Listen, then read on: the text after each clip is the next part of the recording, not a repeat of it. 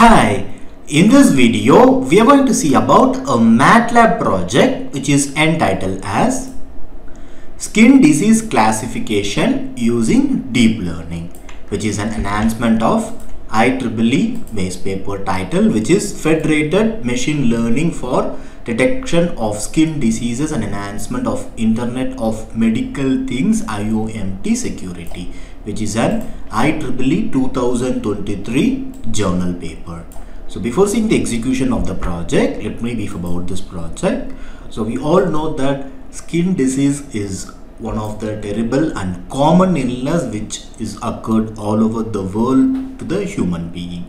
But the problem with this skin disease is like uh, if a person is affected by skin disease means you also get anxiety depression anger and social isolation because uh, all the human beings makes more care on their skin but the pro but the skin disease is uh, caused for the various reasons uh, like pollution air pollution or based on their chronic etc many kinds of things are there. So there are various kinds of skin disease also uh, but here in the base paper the authors are going to classify the skin disease using the federated learning approach.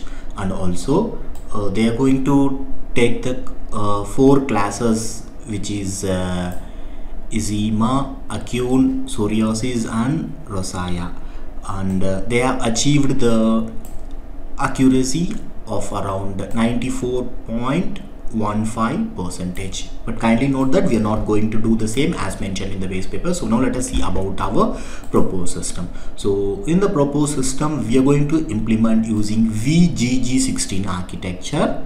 And the accuracy that we have achieved is around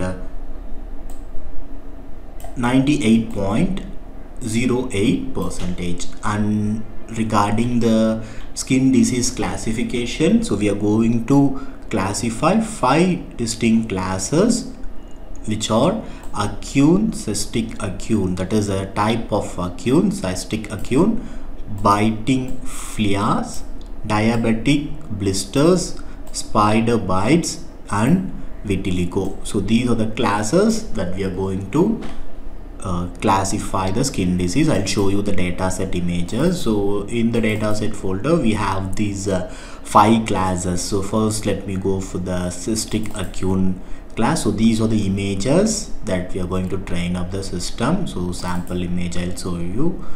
So this is a sample image of this acne cystic and biting fleas this is uh, images of the biting fleas and this is about the diabetic bullae so this is about the these are the images that is available in the diabetic bullae and this is the class spider bite. So these are the images that is available in the spider bite. And final class is vitiligo so these are the images that is available for the class vitiligo. So these are the images that we are going to train up the system. So as mentioned we are going to use vgg 16 architecture. And the accuracy we have achieved is 98.1 0.08%. So these details have been mentioned in the our proposed abstract. So in the existing system, as we are taking the base paper as existing, so we are going to mention about the federated learning methodology. Mm, those details have been mentioned in the existing system, and these are the disadvantages of the existing system and coming to the proposed system as mentioned we'll be developing using VGG16 architecture using MATLAB and uh, the dataset details and first the pre-processing will be made and after that, that the training will be made and classification will be taken place. And these are the advantages of the proposed system and coming to the system architecture in the training process we will be giving the dataset images that we have shown you. And it will made pre-processor that is enhancement and resizing and training using VGG16 CNN model and generation of the train model will be saved. So in the testing process the input images will be given and pre-processing will be done and enhancement by AHE and resize type and classification is done using VGC and XSL. The train network model will be loaded here and the results will be classified the five classes which I showed and the performance analysis part will be shown. So these are the modules of the project image acquisition, pre-processing, skin disease classification, performance measure. And this is the hardware and software requirements. As mentioned we'll be developing using MATLAB and the tool that we have used is MATLAB R2021A and this is the base paper reference. So now let us see the execution of the project. So first go into the source code location copy the source code location. Now open MATLAB R2021A so in the address bar I'll paste the location that I have copied and click enter. So now you can see the complete code is being loaded here in the left side panel. So now let me select final.yum file and then right click it and then click run. So now kindly wait for few seconds. The system will process. And now you can see the GUI of the project with the project title classification of skin disease using deep learning. So the processes are load the image pre-processing skin disease classification performance analysis. So let me first load the image. So just click that load test image button and now you can go to the test images folder. You can select the images that is given in the test image or you can also select from the images that we have trained up in the dataset folder. Let me show you both the cases. First let me go to the test image folder. So i'll select an image that is available and you can preview the image that we have selected here. And let me click the pre-processing so now you can see the pre-processed image that is contrast enhancement image using AHE and resized image is being previewed here. And now coming to the important part that is the skin disease classification. So just click the skin disease classification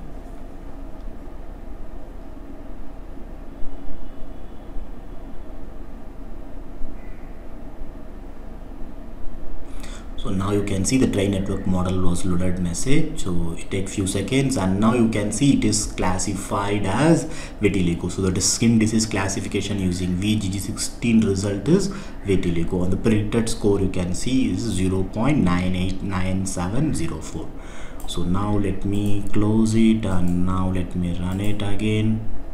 So now this time I'll just go into the dataset folder. So now let me go to the cystic acne folder. And now let me select any of the image. For example I'll select this image. So this is the image that we have previewed and just go for the pre-processing part. And now let us see about the classification result using VG16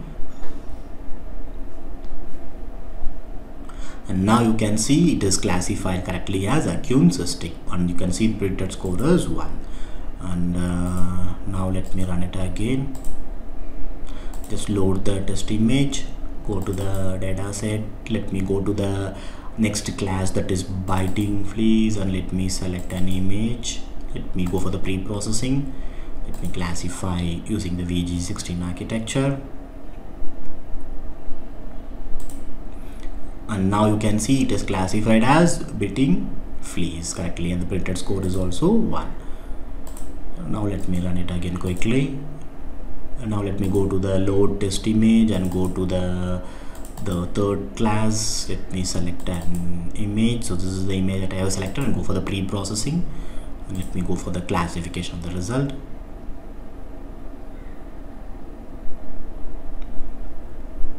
And now you can see it is correctly classified as diabetic bullae and now let me run it again me load the image of this time with the fourth class.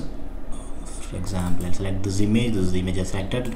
We go for the pre-processing this is the pre-processed image and let me classify and see the result of the skin disease classification using VGG16 architecture. And now you can see it is classified as spider bite and the predicted score is 0.999756 now let me run it again and load the image this time using the final class. Uh, let me go for the pre-processing go for the skin disease classification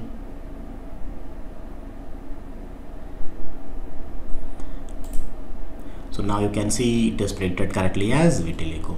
So now here you can uh, have a doubt what happens if i'm going to give some other image that is not available in the dataset part. So in case if you are giving like that it may give random result only. So if you wanted to give the images that is other than image in the same class also you can just give the images that which is matching the correct size of the image. So if you are giving like that it may predict correctly or else it will give some random results only for example if you are giving some other images uh, for example bus car anything like that it may give some random result only. So only use the image that is given in the dataset part. In case if you are giving uh, uh, the same class images you can just resize the image and give the exact size and uh, good good quality images so that it may predict correctly accordingly. So now this time finally i'll just go to the test images folder. I'll select a random image or and then go for the pre-processing go for the skin disease classification and now you can see it is classified correctly as acne cystic so in this way you can check with the images that is provided in the test and the train folder so I'll move to the next part, the final part that is the performance analysis part. So just click this performance analysis part. It takes few minutes to make the performance analysis calculations and uh, here you can see the performance analysis calculation details that is uh, accuracy error rate precision recall specificity of score and mcc that is matthews correlation coefficient. So these things will be processed here. So kindly wait till the process is completed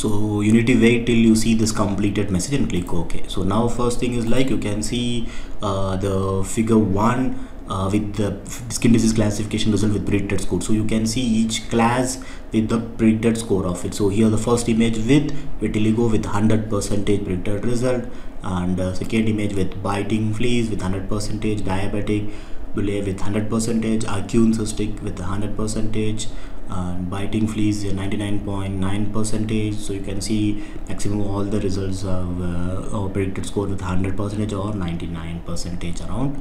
So now let me move to the next part. That is the confusion matrix. So here you can see the confusion matrix which contains which contains the true and predicted label with the five classes acne biting fleas diabetic bullae spider bite and vitiligo. And final is the performance analysis of VG16 architecture so which uh, accuracy value 0.9808 error value 0.0192 precision value 0.9857 specificity with 0.9949 sensitivity with 0.9733 F1 score with 0.9798 sorry F1 score with 0.9 788 MCC with 0.9745 and in the command window you can see the values that is generated here for the performance analysis part. And this is all about the project classification of skin disease using deep learning using MATLAB. And thank you for watching